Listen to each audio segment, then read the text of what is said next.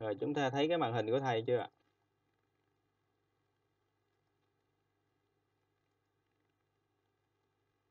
Thấy thì mình à, bấm cái cái bàn tay chưa? Có thấy màn hình chưa? Rồi ok. Rồi, rồi cảm ơn nha. Thì à, ở đây thì nói về lý thuyết chuỗi tức là đầu tiên mình có một cái giải số một cái giải số Ờ, U1, U2 đến UN dãy số này thì nó tiến tới vô cùng không? Bây giờ mình lấy cái U1 cộng U2 cộng đến đến N và cộng tới vô cùng luôn á thì mình ký hiệu như thế này. Không? Nguyên cái dãy này là nó từ cái U1 đến U vô cùng luôn ha? Thì bây giờ mình cộng lại, cộng tất cả cái này lại thì cái, nguyên cái tổng này, cái tổng vô hạn này đó thì mình gọi là cái chuỗi số. Không? Thì cái tổng vô hạn này được gọi là chuỗi số thì ví dụ như mình chỉ cộng tới cái UN này thôi thì lúc này mình sẽ gọi là tổng. À, mình cộng mình cộng tới UN này thôi thì lúc này mình gọi là tổng riêng thứ N tức là mình cộng tới cái số hạng thứ N này nè Đúng không? Thì ở trong cái chuỗi này đó cái UN đó nó gọi là cái số hạng tổng quát. À, u u một là số hạng thứ nhất nè U2 là số hạng thứ hai nè à, U1 là số hạng thứ nhất, U2 là số hạng thứ hai, số 3 số số số số thứ N thì cái này nó gọi là là chuỗi số phải không? Và cái cái UN này nó gọi là số hạng tổng quát. À, và nếu mà mình lấy uh, cái cái cái tổng của từ cái cái số hạng thứ nhất đến số hạng thứ n đó thì lúc này mình sẽ ký hiệu là như thế này tức là cái dấu này là mình đọc là dấu sigma ờ, uh, UK với K chạy từ 1 đến N thì có nghĩa là U1 cộng U2 nhân dân cộng tới UN thôi. Đó. thì cái này nó gọi là tổng riêng thứ N ha. Đấy. thì từ cái chuỗi này nó sẽ sanh ra một cái giải gọi là giải tổng riêng. Thì nếu như cái giải tổng riêng này đó mà nó hội tụ giải tổng riêng này hội tụ hội tụ tức là cái giới hạn nó bằng một cái số hữu hạn s đó nếu cái giới hạn sn bằng một số hữu hạn s thì cái giới hạn này đó nó gọi là à, tổng của chuỗi và cái chuỗi này nó gọi là chuỗi hội tụ không? Đó, được gọi là tổng của chuỗi. Còn nếu mà chuỗi này nó không hội tụ thì mình gọi là chuỗi phân kỳ.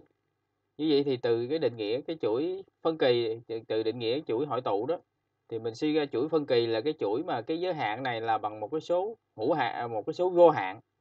Tức là cái ếch cái ếch này là nó nó là một cái số vô hạn, hoặc là cái ếch này, cái cái lim này nó không tồn tại luôn thì cái chuỗi đó mình gọi là cái chuỗi phân kỳ. À. thì nó có cái cái cái phân kỳ nó có hai nghĩa. Thứ nhất thứ nhất là cái cái lim này có thể là bằng một cái số vô hạn. Hoặc là cái lim này là nó không tồn tại thì nó cũng gọi là chuỗi phân kỳ. Đấy. thì ở trong cái phần này á, thì mình chỉ xét cái chuỗi số dương thôi. Chuỗi số dương tức là mỗi số hạng nó đều là cái số dương. Thì mình gọi nó là chuỗi số dương. Đấy, thì trong trường hợp mà mỗi số hạng nó đều âm hết á, thì mình gọi đó là chuỗi số âm. Nhưng mà ở phần này á, thì mình chỉ xét cái chuỗi số dương thôi. Đó. thì cái để ờ, xét cái dấu hiệu hội tụ của chuỗi số dương á thì ở đây nó có hai cái dấu hiệu mình gọi là cái dấu hiệu so sánh. À, dấu hiệu so sánh một và dấu hiệu so sánh hai ha. Thì thì bây giờ dấu hiệu so sánh một á, giả sử mình có hai cái chuỗi số dương UN và VN như thế này. Đấy.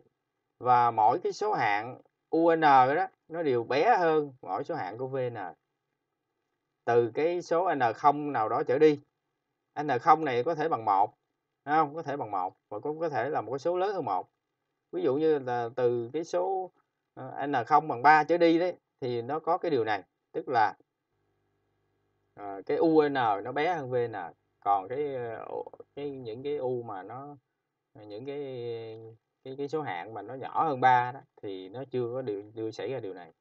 Thì cái điều này vẫn đúng phải không? Đấy là tức là ở đây có nghĩa là gì? À, người ta nói là u n bé bằng VN bất miễn là kể từ N0 nào đó trở đi. Thì N0 này có thể là một có thể là hai có thể là một số hữu hạn nào đó. Đấy, thì nếu như hai chuỗi số dương mà nó thỏa cái điều này thì mình sẽ có cái kết luận sau đây. Đấy, mình tạm gọi là à, chuỗi uh, chuỗi mà nó chứa số hạng lớn hơn mình tạm gọi là chuỗi số, số lớn ha. Đấy, thì ở đây thì mỗi số hạng của chuỗi thứ nhất đều bé hơn mỗi số hạng của chuỗi thứ hai bắt uh, bắt đầu từ n0 nào đó trở đi.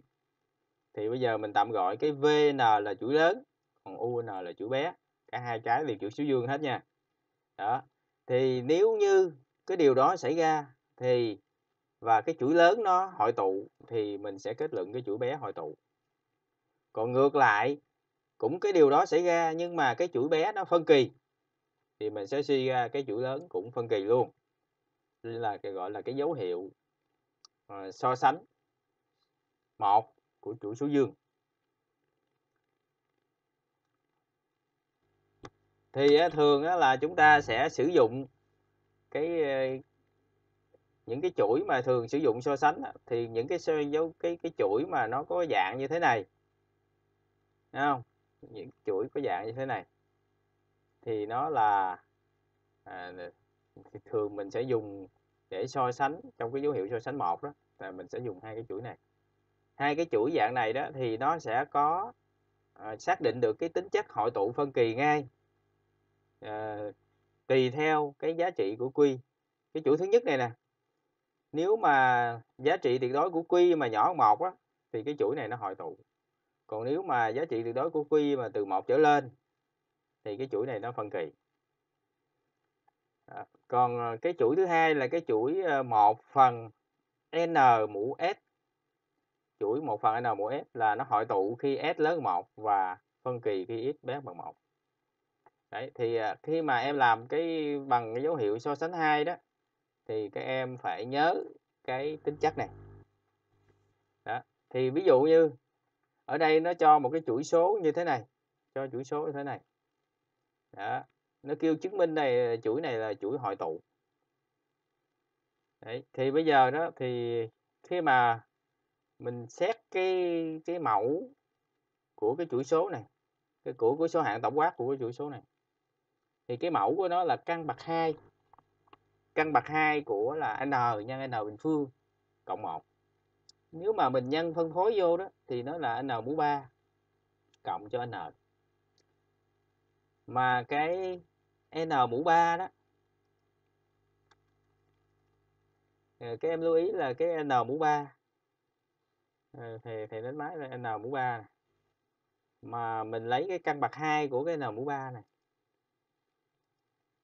căn bậc 2 của n mũ 3 thì cái này nó chính là n uh, mũ ờ, uh, 3 phần 2 mũ 3 phần 2 Thấy n mũ căn bậc 2 của n mũ 3 đó chính là n mũ 3 phần 2 đó thì khi mà mình dùng dấu hiệu so sánh thì mình sẽ xét cái chuỗi mà nó có cái số hạng à, ờ, tổng quát dạng 1 phần à, n mũ 3 phần 2 tức là nó chính là căn bậc 2 của uh, n mũ 3 tức là căn bậc 2 của n n nhưng mà tại sao cái thằng này nó lại nhỏ hơn à, các em nhìn thấy hai cái phần mà màu đỏ nè tại sao phần này nó nhỏ nhỏ hơn thằng này Đấy. cái thằng màu đỏ thứ hai này nó chính là cái thằng này này đó. thì có nghĩa là ở đây đó là nó giống như ở bên bên trái mình bỏ đi số 1 đi bỏ đi số 1 thì bây giờ nó đang là n bình phương cộng 1 bây giờ mình bỏ đi số 1 thì nó phải nhỏ hơn Ờ, nó nó phải nhỏ hơn đúng không? Đấy ví dụ như mình đang có n nè ờ, đang có n bình phương nè mình đang có n bình phương nè Thấy không? n bình phương à, cộng 1 thì bây giờ mình tóc ra mình bỏ số 1 đi thì nó sẽ nhỏ hơn à, nhỏ hơn. Vậy thì à, nó sẽ lớn hơn chứ nó lớn hơn lớn hơn. Còn cái nào bình phương thì nó sẽ nhỏ hơn n bình phương cộng 1 tức là nếu mà ở bên đây mình sẽ à, bỏ đi số 1 thì có nghĩa là nó giảm đi nó giảm đi thì nó nhỏ hơn nó nhỏ hơn cái ban đầu Đấy, thì mình, mình sẽ có điều này nhưng mà cả hai số này đều dương hết cho nên nếu mà em nghịch đảo lại á không? em nghịch đảo lại thì lúc này em sẽ được là một phần n bình phương cộng 1 nó lại là lớn hơn ờ, một phần n bình phương Đấy. điều này là hiển nhiên đúng không tức là cái nào mà cái mẫu nó lớn hơn cái phân số nào mà phân số dương nào đó mà cái mẫu lớn hơn thì cái cái, cái số đó à, à, nó sẽ bé hơn bé hơn chứ không phải lớn hơn nhầm. Đấy. thì từ đây mình mới suy ra chỗ này nè. Đấy, suy ra. Đấy. thì lấy ví dụ chẳng hạn như em có là là là là hai. Hai mà thì nó nhỏ hơn ba đúng không? Nhỏ hơn ba. Nhưng mà bây giờ em nghịch đảo lại. Nghịch đảo lại thì cái nghĩa là một phần hai thì nó lại lớn hơn một phần ba. Không? Một phần hai. Ờ, một phần hai giống như kiểu cái một cái bánh mà mình chia làm hai thì thằng được nửa cái. Nhưng mà một cái bánh mà mình chia làm ba thì thằng có một phần ba cái à. như một phần ba thì nó ít hơn một phần hai đúng không? Đấy nó tương tự như thế. Thì cái cái cái cái cái số này nó cũng tương tự như thế. Thì em thấy là à, nếu như cái chỗ ở bên trái này mình bỏ đi số 1 ờ, thì cái mẫu nó nó sẽ nhỏ đi mà cái phân số mà cái mẫu nhỏ đi thì có nghĩa là cái phân số nó sẽ lớn hơn. Đấy, thì bây giờ đó là chỗ này mình bỏ đi số 1 thì mình nhân vô thì nó là n mũ 3 n mũ 3 mà căn bậc 2 nữa thì ra n mũ 3 bằng 2 cho nên là rõ ràng cái phân số này nó nhỏ hơn cái phân số này. Đấy. thì bây giờ cái thằng này ở bên đây á, thì mình gọi nó là UN đi. Cái thằng này nó chính là UN đó UN và thằng này nó chính là VN đó thấy không? UN với VN thì rõ ràng là từ một n từ một trở đi thì UN à, nhỏ hơn VN không? theo cái định lý ờ, so sánh một. Ở đây nó để nhỏ hơn hoặc bằng thì nhỏ hơn nó cũng có tác dụng không? Nhỏ hơn nó cũng có tác dụng khỏi cần bằng. Đấy.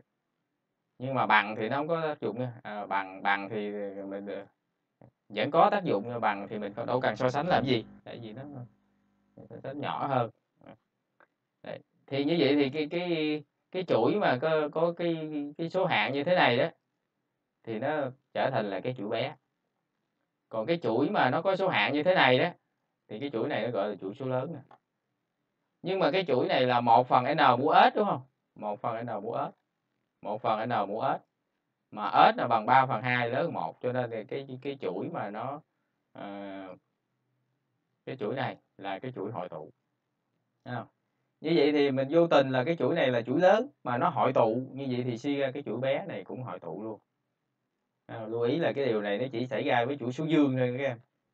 Điều này chỉ xảy dương tức là cái chuỗi lớn mà nó hội tụ thì cái chuỗi bé nó cũng hội tụ.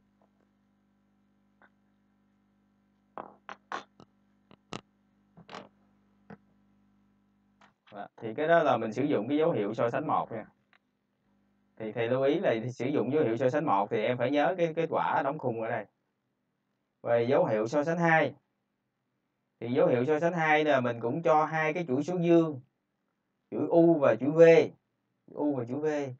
Và mình sẽ lấy cái ứng với mỗi n đó, mình lấy cái un mình chia cho vn và mình lấy cái giới hạn đó đi.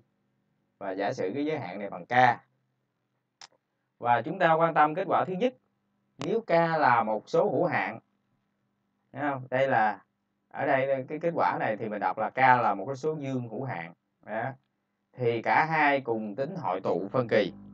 Có nghĩa là sao? Có nghĩa là trong hai chuỗi này mình biết là có một cái chuỗi là nó hội tụ thì cái chuỗi kia nó cũng hội tụ. Thấy không? Hoặc là cái chuỗi một trong hai chuỗi này một chuỗi là phân kỳ thì cái chuỗi còn lại cũng phân kỳ. Đấy, thì cái dấu hiệu so sánh hai là nó sẽ cho biết như thế. Thường á, thì mình sẽ dùng dấu hiệu so sánh hai nó hay hơn nó nó nó, nó rộng đường hơn cái cái cái dấu hiệu một là lý do tại sao. Nhiều nhiều nhiều nhiều khi chúng ta không biết đánh giá cái này là dấu lớn hơn hay nhỏ hơn nhưng mà đánh giá tương đương thì được. Đánh giá tương đương thì mình lấy cái số này này mình chia cho số này rồi mình tính cái giới hạn. Đó, thì nó sẽ cho cái tương đương cũng dấu hiệu so sánh hai. Nhưng mà nếu mà cái giới hạn này nó bằng không, giới hạn bằng không thì lúc này á, giới hạn bằng không mà mình lấy u chia v, u chia v mà cái giới hạn bằng không có nghĩa là khi mà n tiến vô cùng thì u nó tiến về không nhanh hơn. Hoặc là u n v n tiến về không. Đấy, tức là cái cái u n là nó nó tiến về không nhanh hơn. Đấy. Như vậy thì tới một cái giai đoạn nào đó thì cái un nó lại nhỏ hơn vn thì mình đảo về cái dấu hiệu so sánh một. Điều đó có nghĩa là gì? Có nghĩa là uh, cái cái chuỗi UN trở thành chuỗi bé và chuỗi VN trở thành chuỗi chuỗi lớn. Và do đó là chuỗi lớn hội tụ thì chuỗi bé cũng hội tụ. Còn nếu mà k và cộng vô cùng thì lúc này cái vn trở thành cái chuỗi bé? Thằng này là chuỗi bé nè. Ờ, thằng này chuỗi lớn. Mà cái chuỗi bé nó phân kỳ thì chuỗi lớn cũng phân kỳ. Đó là là vừa dấu hiệu so sánh hai. Thì bây giờ cũng ờ, cái ví, ví dụ giống như cái ví dụ 4.1 nhưng mà ở đây mình sẽ dùng dấu hiệu so sánh hai. Mình không cần bận tâm đánh giá xem là hai thằng này thằng nào lớn hơn. Mình chỉ cần lấy thằng thứ nhất chia cho thằng thứ hai rồi sau đó lấy cái giới hạn. Và cái giới hạn này rõ ràng mình sẽ tính ra được nó bằng một. Một là một cái số mà nó nằm trong cái khoảng từ 0 đến cộng vô cùng thấy không? Tức là một số dương hữu hạn đó thì cho nên là cả hai cái chuỗi này nó cùng hội tụ và phân kỳ. Cả hai chuỗi này nó cùng hội tụ và phân kỳ. Đúng chưa? Cả hai cái này nó có cùng uh, tính hội tụ hoặc là phân kỳ. Đó. Nhưng mà bây giờ mình biết cái chuỗi thứ nhất này nó là hội tụ rồi. Là do mình nhớ cái kết quả này nè cái kết quả đóng khung này nè thấy không? Một phần n mũ s một phần n mũ s mà nó hội tụ khi s lớn hơn không và phân kỳ khi s bé bằng không đấy. Thì do mình nhớ kết quả này mình sẽ suy ra được ngay là à, cái cái cái chuỗi này là cái chuỗi hội tụ. Mà do hai thằng này á, nó cùng hội tụ phân kỳ không như là thằng thứ nhất là là nó hội tụ rồi vậy thì thằng này cũng hội tụ luôn. Đấy. thì cái này đó là mình gọi là là dấu hiệu so sánh hai. Tới uh, như vậy thì cái dấu hiệu so sánh một và dấu hiệu so sánh hai đó à, tất cả mình đều thể mượn thêm một cái chuỗi trung gian vào để mà mình tìm hiểu giống như kiểu em so sánh nè à, hai cái phân số mà em thấy một cái phân số là nó nó lớn hơn một một cái phân số mà nó nó nhỏ hơn một thì bây giờ đó là vậy thì à, cái phân số thứ nhất là nó lớn hơn số thứ hai? Đấy còn bây giờ đó là mình sẽ tìm hiểu những cái dấu hiệu mà nó không cần tìm đến cái chuỗi uh, trung gian. Đó. chẳng hạn như đây là gọi là dấu hiệu cusi cái này mình đọc là dấu hiệu cusi đọc theo tiếng Việt của mình uh, quen gọi là cusi à giống như kiểu bắt thức cusi đó. À, cusi thì bây giờ đó thì uh, đây mình gọi là cusi ha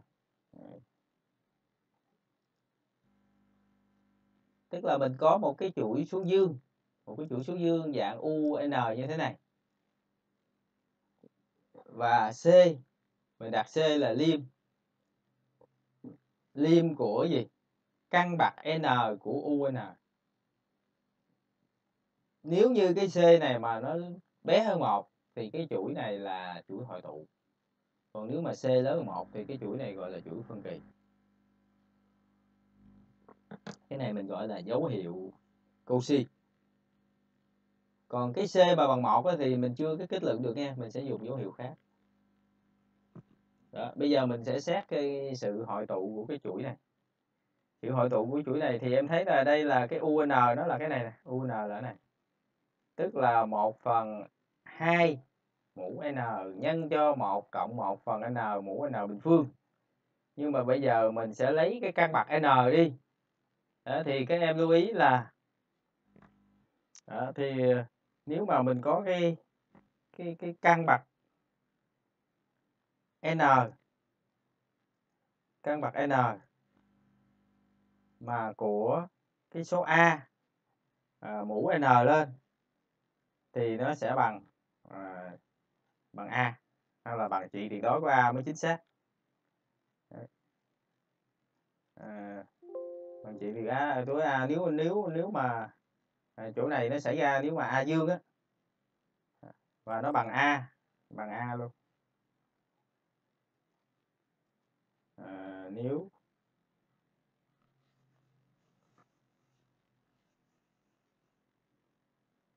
a dương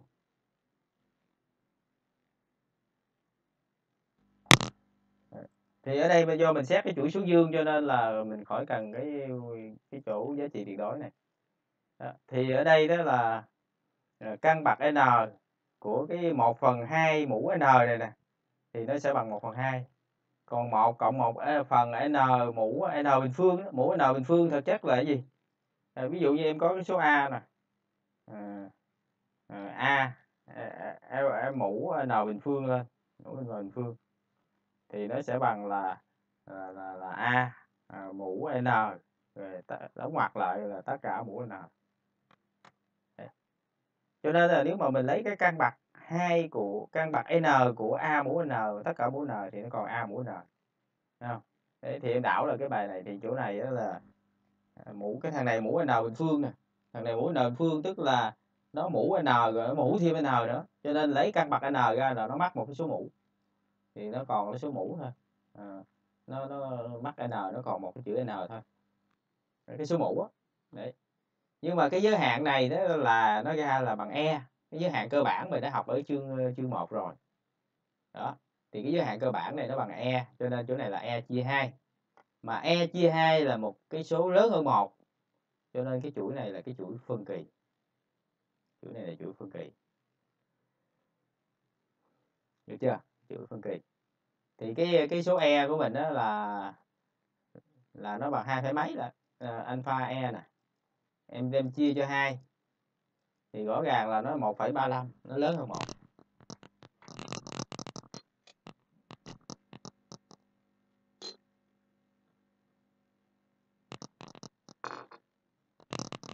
Rồi tiếp theo đó là uh, mình khảo sát cái sự hội tụ của cái chuỗi này thì cũng đặt C. C là bằng căn bậc N của U mũ N ờ, uh, UN UN là nguyên cái cụm này nè. Lấy căn bậc n đi căn bậc n. Thì lưu ý là cái liêm này đó cái liêm của cái tử này là lúc nào là nó cũng bằng một. Cho nên cái giới hạn là một phần hai một phần căn hai. Mà một phần căn hai đó thì à, nó nó nhỏ hơn một cho nên chuỗi này là chuỗi hồi tụ thì các em lưu ý là cái giải thích tại sao cái liêm này là nó bằng một ha như này bằng một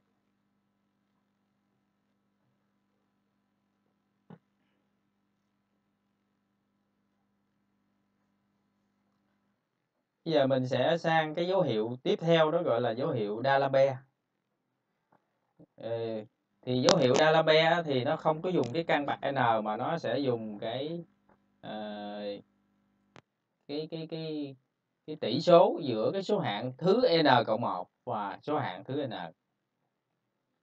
Đấy, thì nó lấy cái UN cộng 1 và chia cho UN này và sau đó nó lấy cái liêm lấy cái liêm thấy không? Và cái nguyên cái lim này á, thì nó đặt bằng d cái giới hạn này nó đặt bằng d. Và nếu mà d mà nó nhỏ hơn một thì cái chuỗi này đó là chuỗi hội tụ còn ngược lại là lớn hơn một thì cái chuỗi này là chuỗi phân kỳ. Còn trường hợp bằng một là mình chưa xác định nha. Đó thì bây giờ đó để ờ, khảo sát sự hội tụ của cái chuỗi này khảo sát sự hội tụ của chuỗi này thì ờ, mình sẽ lấy UN cộng 1 ra thì ở đây em thấy là cái UN nó chính là cái số này nè UN nè Thấy không?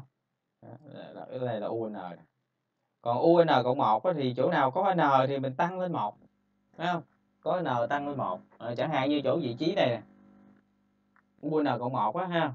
Chỗ dự chỗ vị trí này nó có N nè. Mình tăng thêm N thành N cộng 1 luôn. À, thì nó sẽ là hai lần N cộng 1 rồi mà cộng thêm 1. Không? Em mình tính thử nè. hai lần hai lần rồi à, hai lần của n cộng 1 à, thì mình nhân vô thì nó là 2 n rồi cộng cho 2 nhân 1 là 2 tức là 2n cộng 2 đúng không 2n cộng 2 thì ở đây thì có nghĩa là un cộng 1 đó, là mình sẽ chỗ n đó mình sẽ thay bằng n cộng 1 như vậy thì 2n này nó sẽ là 2n cộng 2 mà cộng thêm 1 nữa thì chỗ này nó sẽ là e mũ 2n cộng 3 hiểu chưa? 2 mũ n cộng 3 còn chỗ này đó là n dây thừa, bây giờ n tăng lên một đơn vị thì nó sẽ là n cộng 1 dây thừa. Đó. Thì bây giờ mình sẽ lấy cái un cộng 1 là chỗ này. Un cộng 1 là chỗ này. Và chia cho un à, chia cho un đó thì bây giờ đó mà mình lấy cái liêm đó thì bây giờ đó là à, bây giờ thì ghi ở trên ờ, bên, bên bên đây đi. Thì mình có là à, u à, n cộng 1 rồi chia cho un un thì lúc này nó sẽ bằng. Thì em thấy em thấy chia bằng bằng nhân nghịch đảo lên thôi. Cái này là e mũ 2n cộng 3 đúng không? Đấy. thì em ghi là e mũ 2 2n à, à, cộng 3 và chia cho à, n cộng 1 dây thừa. Nhân cho. Chia bằng nhân nghịch đảo thì đang đang đang đó là đang chia nè đang chia nè. Chia cho số này bằng nhân nghịch đảo lên nghịch đảo số này là n dây thừa chia cho à, e mũ 2 n cộng 1 đúng không? Ờ, tức là à, n dây thừa à, chia cho e mũ à, 2n cộng 1 Đấy, thì bây giờ cái cái số này đó là nó bằng cái gì? Thì em lưu ý á, là n dây thừa của mình đó là nó cái gì? N dây thừa á, thì nó sẽ bằng n này nhân cho à, n trừ 1 rồi nhân cho n trừ 2 nhân chấm chấm chấm nhân cho 3 nhân cho 2 nhân cho, Ờ, nhân cho 2 rồi nhân cho cho 1 thì cái này nó gọi là n dây thừa. Như vậy thì còn cái n cộng 1 dây thừa nó là cái gì? N cộng 1 dây thừa. Thì theo định nghĩa đó thì sẽ là n ờ, n cộng 1 rồi nhân cho nhân cho n, rồi nhân cho n trừ 1 thì dấu nhân này mình khỏi khỏi khỏi đánh vô cũng được. À, số.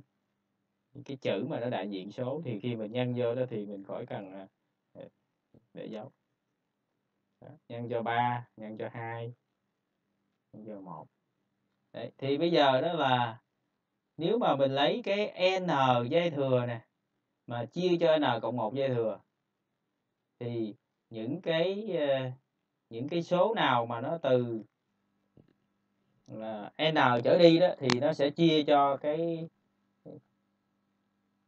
à, những cái phần này nè. Để, để tôi ờ, tô màu đỏ đi.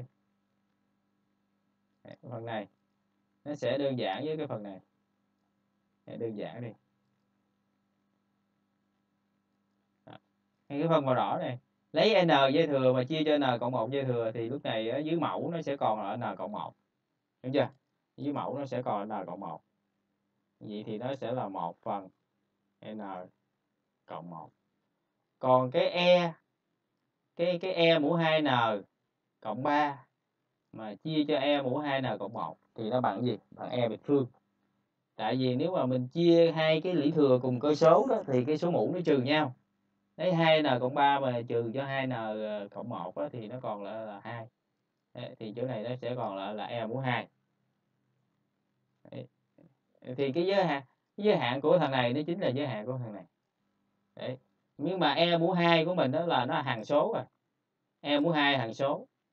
Thấy không? Đó, nó cái e mũ 2 đó. Đây, em mũ 2 nó gần bằng 7 phẩy mấy thôi nó là một số hữu hạn. Một số hữu hạn còn ở dưới cái mẫu nó là là là tiến tới vô cùng. Tiến vô cùng tức là một số rất lớn ha số lớn không xác định đó, thì gọi là tiến tới cộng vô cùng. Vậy thì một số rất nhỏ à, một số hữu hạn mà chia cho một số rất lớn không xác định thì nó ra là số không. Đấy, thì cái giới hạn đó cái giới hạn cơ bản đó là không. Như vậy thì à, cái không thì nó nhỏ một cho nên cái chuỗi này là chuỗi hội tụ. Thì trên đây là mình sẽ mình đã làm khảo sát cái chuỗi hội tụ theo cái dấu hiệu D'Alembert và tương tự như vậy thì ở đây mình có có cái cái khảo sát sự hội tụ của chuỗi này theo dấu hiệu D'Alembert thì giống như ở trên thì cái chuỗi này mình nãy mình khảo sát rồi theo dấu hiệu Cauchy rồi. Theo dấu hiệu Cauchy thì nó bằng một phần căn hai à ha. Đấy. nhưng mà nếu mà mình khá mình khảo sát thằng này theo dấu hiệu D'Alembert thì dạng lấy là UN cộng 1 chia UN thì cái này là UN cộng 1 đây. Rồi cái này là UN đây. Đấy, vì khi khi chia thì bằng nhân người đảo lên. Thì uh, nó còn một phần căn hai. À, tức là à, căn hai mũi nào mà chia cho căn hai mũi n cộng một thì nó còn một phần căn hai. Đấy. còn ờ, còn lại là 2 n cộng 1 chia cho gì đây? 2 n trừ 1 và cái lim này á, là nó nó nó lại bằng một. À, lim này nó bằng một. Cho nên là cái này nó sẽ bằng một phần căn hai. Một phần căn hai thì cái chuỗi này là cái chuỗi hội tụ. Một phần căn hai dĩ nhiên là nhỏ một.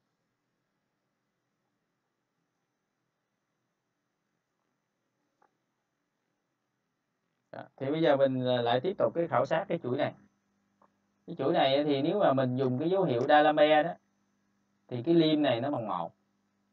Liêm này bằng một thì mình chưa có thể kết luận được à, cái chuỗi này hội tụ ở phân kỳ. Tuy nhiên nếu mà mình dùng dấu hiệu so sánh hai thì mình sẽ kết luận đó là là hội tụ. Không? tại vì hai chuỗi này, cái liêm này nó bằng một cho nên là hai cái chuỗi này cùng hội tụ phân kỳ. Mà cái chuỗi này là biết là nó hội tụ rồi cho nên là cái chuỗi còn lại cũng hội tụ luôn à. thì ờ, thời gian còn lại đó thì à, chúng ta xem các cái bài tập à, của cái chương 4 này về cái cái chuỗi á à. thì bây giờ đó là thầy giải mẫu cho một số bài còn lại là chúng ta tự tự giải ha tự giải thì trong đề thi mình cũng có sẽ có cái phần là phương trình di phân với cái phần là, là khảo sát sự hội tụ của chuỗi ha. Ở cái phần này đó là mỗi phần là hai điểm. Cho nên là những cái phương trình di phân rồi sáng rồi thầy đánh dấu cho cái làm đó thì ờ, cố gắng mà tranh thủ mà làm đi ha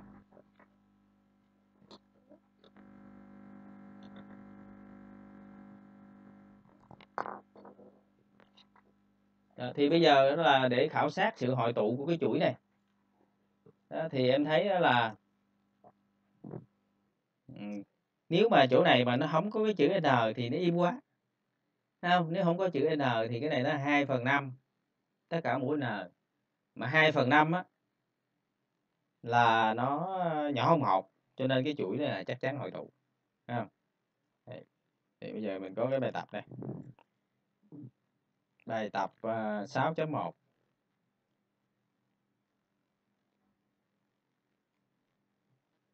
à, thì xét sự hội tụ của chuỗi.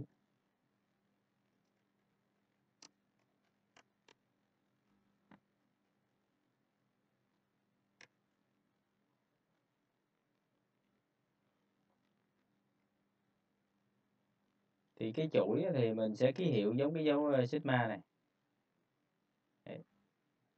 thì chờ coi lại cái đề ha. Cái đề đó là à, hai mũ à, hai mũ n chia cho 5 mũ n rồi cộng thêm n nữa.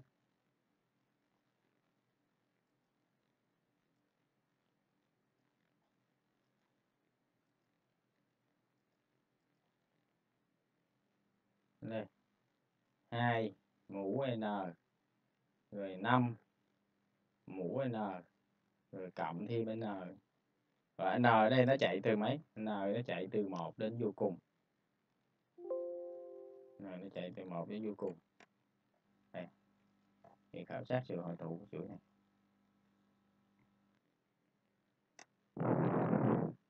Thì ờ, ta có ờ, bây giờ mình sẽ dùng cái chuỗi mà nó chỗ này nó không có chữ n. À, tức là ta có cái chuỗi nó giống như chỗ này nhưng mà nó, chỗ này nó không có n nè không có n Thì chuỗi này. Ờ, nó là chuỗi hội tụ. Chuỗi hội tụ. Do quy quy bằng 2 phần 5 à, trị tuyệt đối ha có trị đối giá trị tuyệt đối quy bằng 2 phần 5 là nhỏ một. Thì mình sử dụng cái kết quả nào? Sử dụng kết quả lúc nãy là thầy có nói cái game đó là trong đống khung màu đỏ đó. Khung màu đỏ này. Thì cái chuỗi mà nó có dạng a nhân q mũ n đó, với a khác không, chẳng hạn như trong cái bài của mình đó là a một. Đó. thì cái chuỗi như thế này, nó hội tụ khi giá trị đối của q nhỏ một.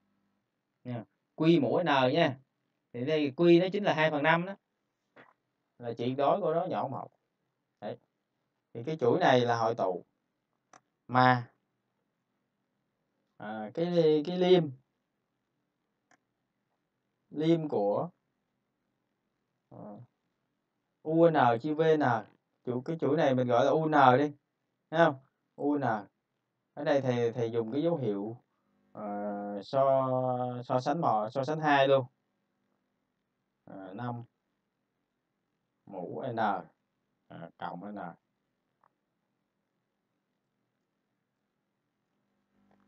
còn ở chỗ này thì nó là gì?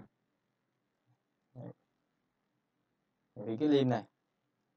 Dĩ nhiên là nếu mà nó là cái cái giới hạn của giải số thì mình không cần ghi n tiến tới vô cùng cũng được. Nếu mà mình cần ghi được thì càng tốt chứ không có gì. Đấy. Thì bây giờ cái lim này nó sẽ bằng cái gì chia bằng nhân gạch đảo lên đúng không? À, chia bằng nhân gạch đảo lên. À, thì nó sẽ là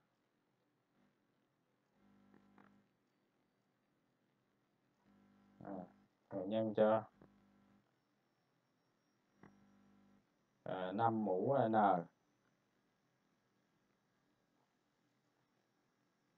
Năm mũ n. Rồi chia cho hai mũ n. Đấy, thì bây giờ mình chia nghịch đảo rồi nè thì hai mũi n đơn giản hai mũi n mắc nè. Vậy thì nó sẽ còn cái gì? Nó còn cái gì? Nó còn lại là 5 mũi n thôi. À, chỗ này nó còn 5 mũi n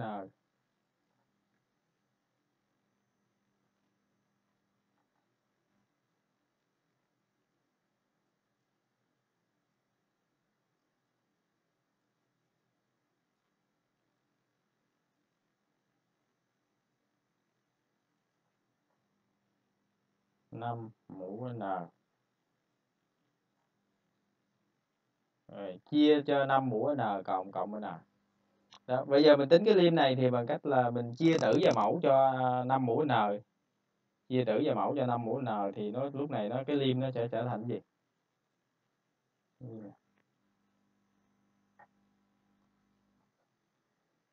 Ở trên là một ở dưới là một cộng cho n chia 5 mũ n và cái giới hạn này là nó bằng một luôn.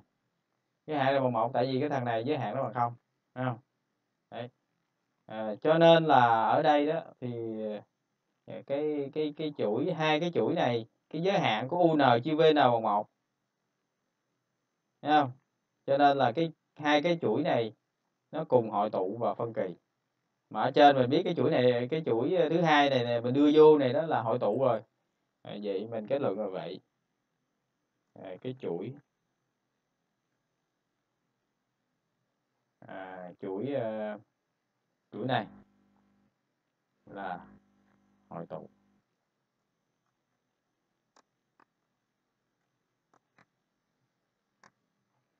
À, chỗ này mình suy ra chứ. Chỗ này mình sẽ suy ra thêm bước nữa suy ra à, cái chuỗi này và cái chuỗi mình đưa vào thêm này nè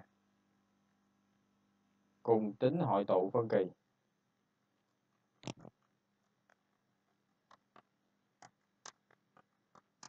okay. nhưng mà cái chuỗi uh, thứ hai đó mình đưa vào đó là nó đã hội tụ rồi cho nên cái chuỗi này nó phải hội tụ Đúng không? Hai cái chuỗi cùng hội tụ phân kỳ. Mà một chuỗi là nó nó hội tụ thì chuỗi còn lại hội tụ. Thì đó là cái cách mà mình à, mình mình xét cái sự hội tụ của chuỗi bằng dấu hiệu so sánh. À, bằng dấu hiệu so sánh uh, hai. Hiển nhiên là cái bài này em dùng cái dấu hiệu so sánh một cũng được ha. Dùng dấu hiệu so sánh một cũng được. Tức là cách hai nè. Cách hai à, dùng dấu hiệu. À, so sánh một. So sánh một cái gì thì mình sẽ so sánh giữa hai số này. Ta có à, 2 mũ n rồi chia cho 5 mũ n cộng n. À, nó làm sao? Nó làm sao so với gì? À, cũng là hai mũ n à, chia cho 5 mũ n nó làm sao? Cái dấu này là dấu lớn hay dấu bé? Mình điền vô chính giữa này. Dấu lớn hay dấu bé? Thì bây giờ đó là cái thằng thứ nhất á, thằng bên trái này đó là cái mẫu nó lớn hơn cho nên cái phân số nó sẽ nhỏ hơn. Nhỏ hơn. Và cái điều này nó xảy ra đó ờ, à, với mọi với mọi n. À, n này là lớn hơn bằng một trở đi, từ một trở đi đó. Đó. mà mà cái chuỗi chuỗi mà nó có số hạng là 2 phần 5 mũ N đó. Mà cái chuỗi này. Chuỗi này là chuỗi hội tụ. Vì do cái quy bằng 2 phần 5 nhỏ 1 đúng không? Đấy. Thì cái chuỗi lớn nó hội tụ rồi, nên cái chuỗi này cũng hồi tụ.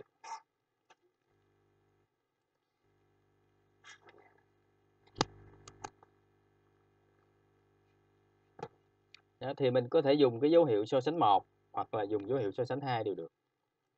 Các em có theo kịp bài không ạ?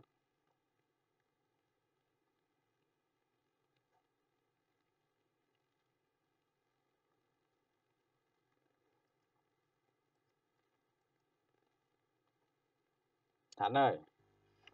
Dạ. Ừ, có có theo dõi bài không em? Có thầy ơi. Ừ, rồi à, Nam.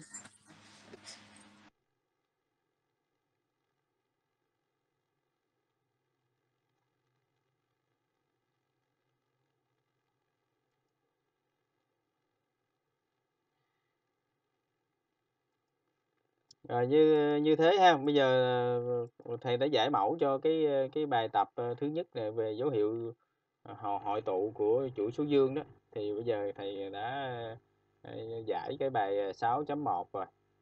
Đấy, thì ờ, cái lý thuyết thì thì cũng giảng cho rồi. Còn còn, còn bài tập thì các em tự làm đi rồi thì nữa thầy sẽ chụp gỡ những cái một số cái đáp án lên cho các các em về về các cái câu hỏi này nha Đấy. thì à, bây giờ có thể là chúng ta học xong lý thuyết ờ, của cái chương này rồi, đáng lẽ là chúng ta sẽ học thêm cái chương mới nữa. Nhưng mà thôi bây giờ thầy sẽ dành cái khoảng trống thời gian này để cho các em tự nghiên cứu, để làm mấy bài này đi. Rồi ờ, nữa thầy